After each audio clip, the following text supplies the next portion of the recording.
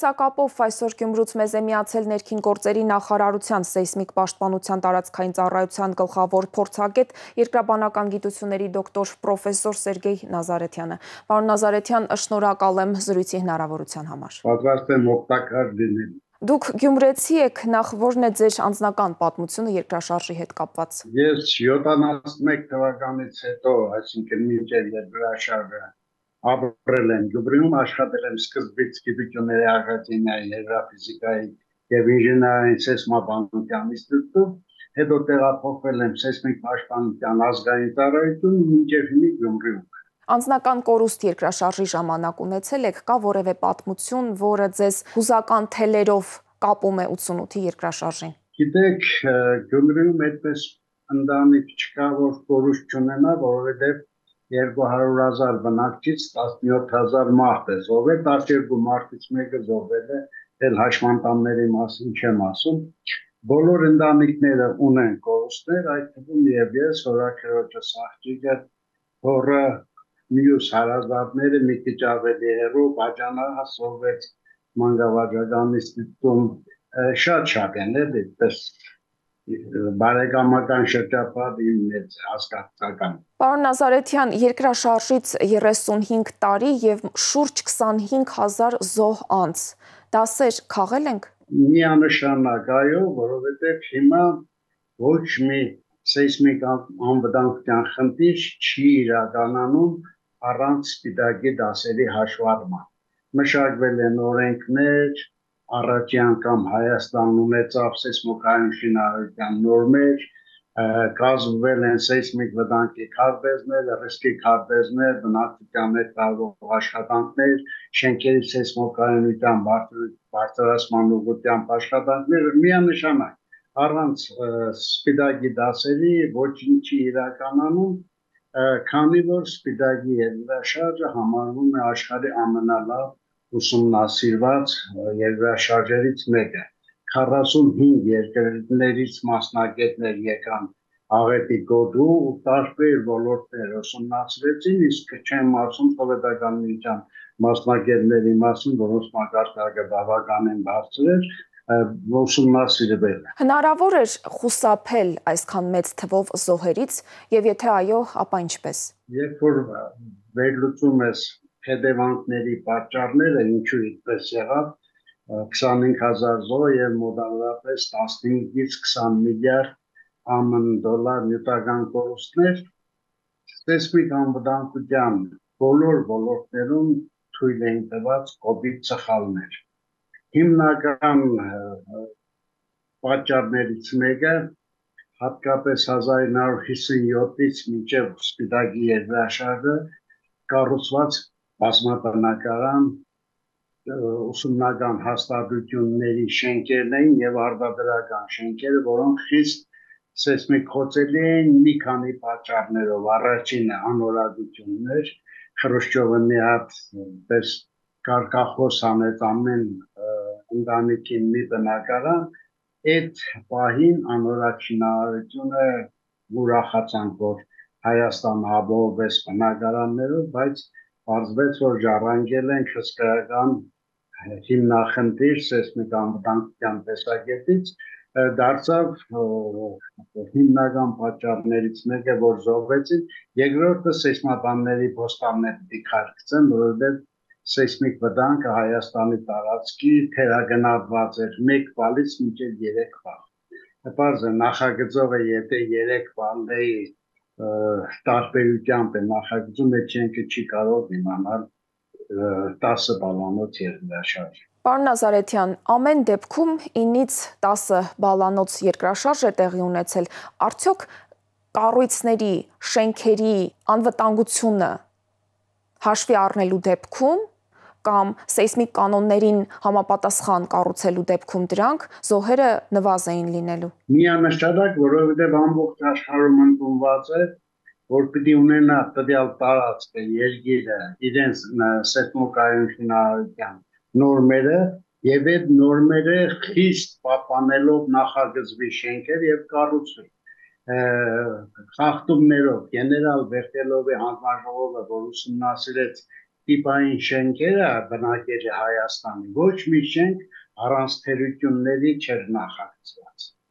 միանշանակ այդպես է եթե պապանվեին բացարձակ տեսեք Միացյալ Նահանգներում 89 թվականին եղավ մոտավորապես նույն կարգի երկրաշարժ ոնց որ սպիտակինը մագնիտուդը 7.0 կամ մինուս 10 բան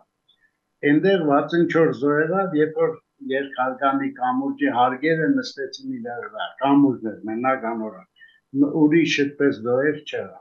Պարզը որ այնտեղ պապանել էին նորմերը, շինարարության որակը եւ այլը կարգ ու կանոն է եղել մեր մոտ լրիվ բացակայում էր։ Եթե գանք երկրաշարժի ժամանակ անվտանգության կանոնների պահպանմանը, մարդիկ այսօր ավելի պատրաստված են, ավելի իրազեկ են, քան երկրաշարժի տարիներին։ Իհարկե, միանշանակ է պետք է տարազատել սպիտակի երկրաշարժի գոտու բնակչություն,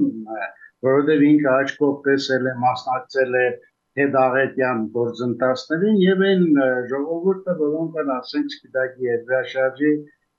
պատկերը հերոստատեսական կամ լուրերից են իմացել։ Այստեղի ժողովուրդը ավելի գոտու, ավելի պատրաստված է։ Գիտեք, ցանկացած նույնիսկ հարուստ հզոր երկիր, եթե ունենա մեծ քանակով փրկարարներ, բժիշկներ եւ այլն, արագ արձագանքելը դժվար է, որովհետեւ աղետը երբեմն լինում է այնպիսի մասշտաբների, որ տվյալ երկրի փրկարարները արարածակարակացակացնում ուժերը չեն կարող բավարար Տեսեք Թուրքիայում բավականին լավ անվտանգային սեյսմիկ անվտանգային համակարգ կա։ Սկզբից Էրդողանը ասաց, որ մենք մեր ուժերով ամեն ինչ կլուծենք, բայց հետո տեսավ, որ անհնար է իրենց փրկարարներով, բժիշկներով դիմեց աշխարհին, ով որ կարող է հասել օգնության եւ աշխարհի 120-ից ավելի երկրներ օգնության ձեռք մեկնեցին այդ թվում Հայաստան։ Այնպես որ դա միանշանակ այդպես է պատրաստվածության ժողովրդի առաջի օրերին մի քիչ մասնագիտական, բայց հետաքրքիր երկու փաստ բերեմ մենք հետազոտել ենք սպիտակի երկրաշարժ եւ աշխարհին ուժեր այդ տիպի երկրաշարժերը զոհերը լինում են հիմնականում առաջի 5 օրերին անմիջապես շենքերի փլուզման հետևանքով մնացել են փլատակներում այլնական են եղել սնունդ չի եղել ջուր չի եղել վախից են մահացել 5 5 օր հետո այդպես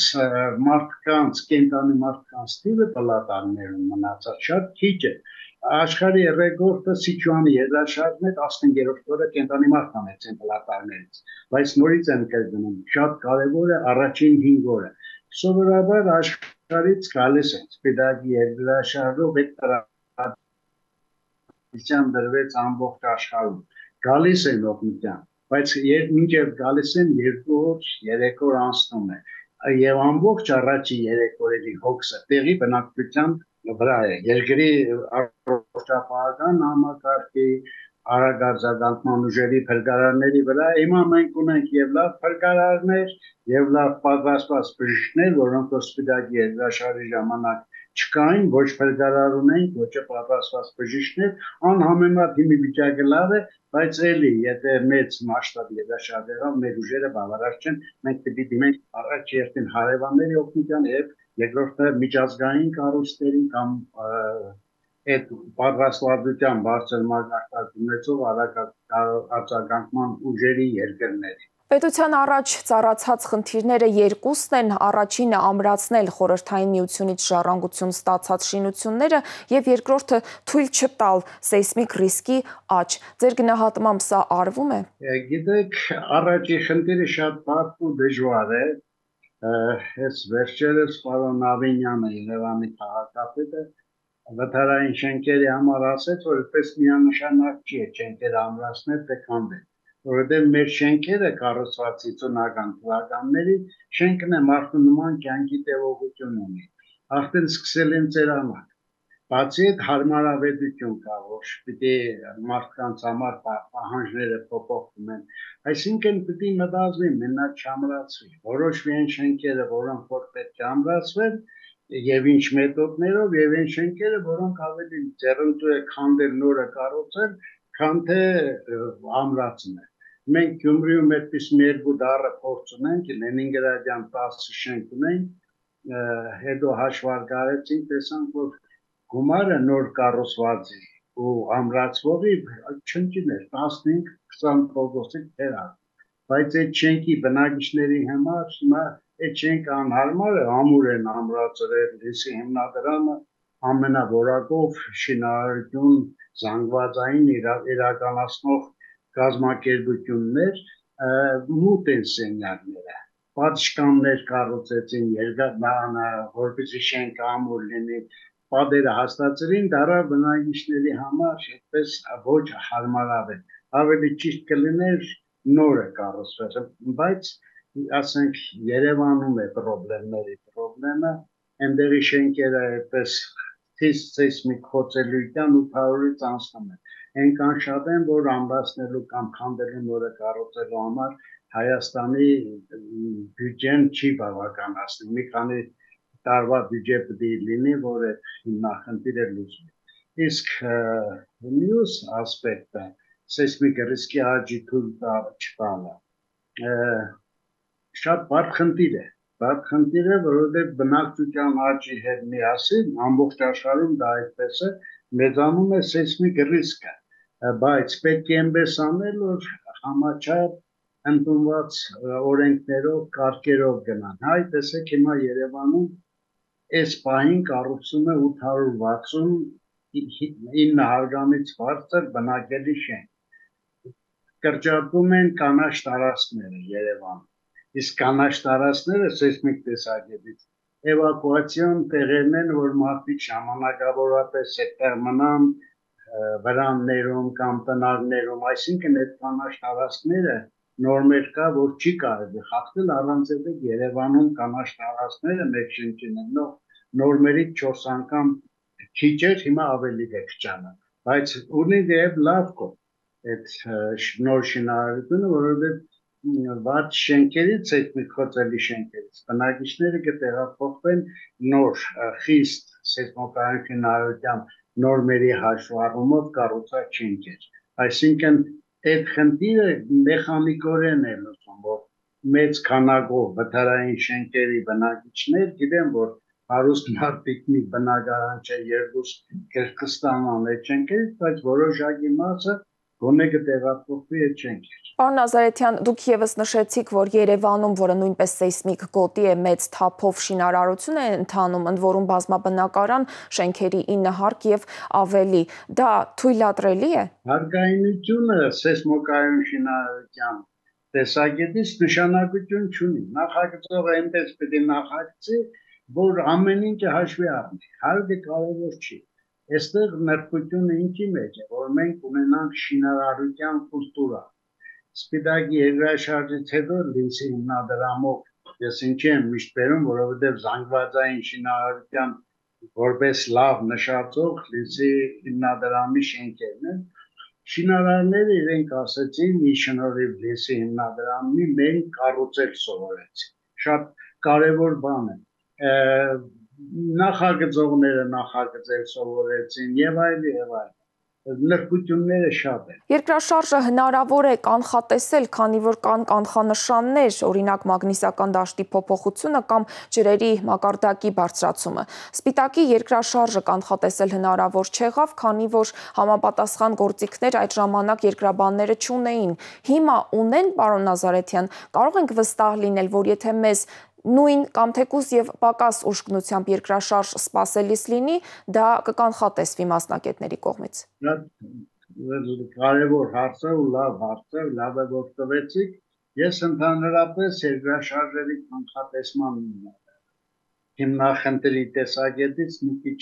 բացասական են նայում, որովհետև հասկանում եմ, որ դեռ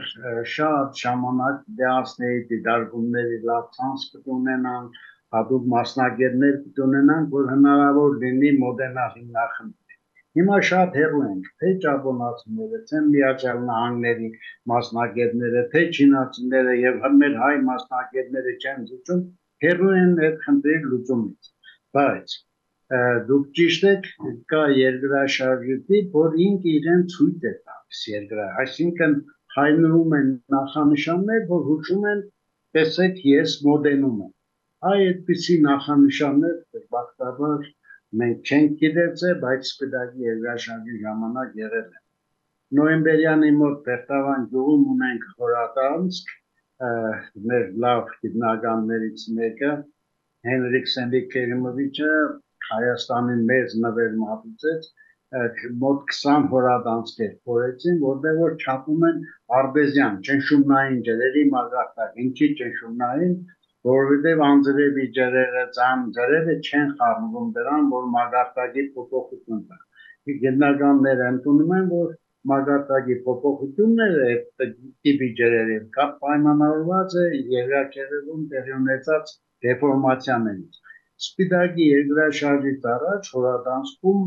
1 մետր 93 սանտիմետր ջրի մագարտակը բարձրացել էր, այդեն դեպքում երբ որ 1 սանտիմետր 2 սանտիմետր է օրական փոփոխությունը։ Պարզե որ սա ագնայդ նախանշան է, որ մասնակետները տեսնեին կանխատեսման փորձ անեն, բայց այն ժամանակ սովետական տարիներին ամեն գերատեսչություն ինքն էր իրականացնում շինարարությունը, բաներ չափումները իրեն տվյալներն էր, այդպես կոորդինացնող, հավաքող չկար։ Հիմա սեյսմիկ ծառայությունը, որ ստեղծվեց, բոլոր հիմնարկներից հավաքեցին այդ դիտարկումների ցանցերը, միացրեցին իրար, մի միասնական կենտրոն ստեղծեցին եւ մշակվեցին համակարգչային ծրագրեր, որ հսկայական ինֆորմացիան արագ վերլուծվի։ Այսինքն գիտության պահանջը էս է։ Եվ վերջում պարոն Նազարեթյան հիշեցրեք խնդրեմ մեր հերոստատի տողին անվտանգության վարկականոնները երկրաշարժի ժամանակ։ Ուրեմն մեր աշխատողները բնակչության հետ տարվող բաժին ունենք մանգապարտեզներից, դբրոցներից ուսուցանում են, բայց վարկականոնները մենք ենք մշակել ելնելով Հայաստանի պայմաններից, ասենք Ճապոնիայում երկրաշարժի ժամանակ շենքը չի կարող կլուզվել։ Մեր մոտ ամենամեծ հիմնախնդիրը, որ շենքը չկնոս։ Մենք եթե ճաբոնացիները խորհուրդ են տալիս երաշարժի ցնցումները զգալու պես թաքնվել սեղանի տակ մնալ շենքում դուրս չգալ, մենք խորհուրդ ենք տալիս ինչքան շուտ կարաս փախի շենքից։ Այդպիսի վարկականոններ կան, դրանք երեք մասի են բաժանվում մինչև երկրաշարժը, երկրաշարժի պահին եւ հետո։ Մինչև երկրաշարժը դրանք բազմաթիվ են։ Վարկականունները ամենակարևորներից մեկը ասեմ, որ բնակիչները ինքնագործնեություն չանեն, շենքերում աբորենի ձևափոխություններ չմտցնեն։ Այդ լուրջ հիմնախնդիր է Հայաստանի համար։ Գյումրիում երբ որ մենք ուսումնասիրեցինք Փլուզման պատճառներից մեկն է եղել։ Այո, 10% շենքերի փլուզվել է բնակիչների մեղք այդ վարկականոնը ամենակարևորն է, բայց մենք գիտենք, որ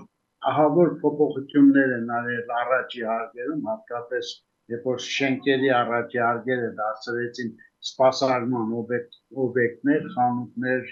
սրճարաններ եւ այլն, ինչ ձևափոխություն ասես արել են եւ այդպես հսկողություն իրականացնող չի եղել։ Սա ամենակարևորն, հարկականոն առաջի խնդիր Երկրաշարժի պահին շատ կարևոր է խոճապի չմառնվել եւ փորձել քայլեր անել, որ նախ քեզ չվնասես։ Երկրորդը ուրիշին օգնես։ Էս էլ շատ կարևոր է, որովհետեւ մարդ որ ընկնում է խոճապի մեջ, ես մարդիկ գիտեմ, որ ոչ մի քերդված չեն ստացել, մահացել են վախից։ Այդ ֆոբիաներ կան, մարդիկ վախանում են այրունից, չգիտեմ, շուտ են հյուսահիաստապում, մտից եւ այլն եւ այլն Եվ երրորդը երկրաշարժից հետո շատ կարևոր է գիտենալ ուր գնաց, որ քո հարազատները քեզ հնդրեն գտնեն, որովհետև կապի բոլոր միջոցները չեն աշխատում, քաոս է տիրի քաղաքներում հատկապես եւ պետք է նախորդ պայմանավորվել այդպիսի դեպքում, որտեղ իրար տեսնել հանդիպել։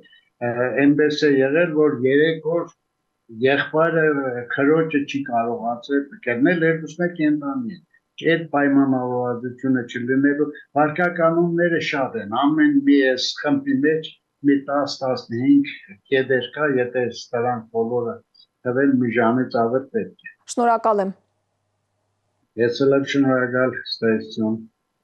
Տեսակապով Գյումրուց մեզ էր միացել ներքին գործերի նախարարության սեյսմիկ պաշտպանության տարածքային ծառայության գլխավոր փորձագետ երկրաբանական գիտությունների դոկտոր պրոֆեսոր Սերգեյ Նազարեթյանը։ Կհանդիպենք։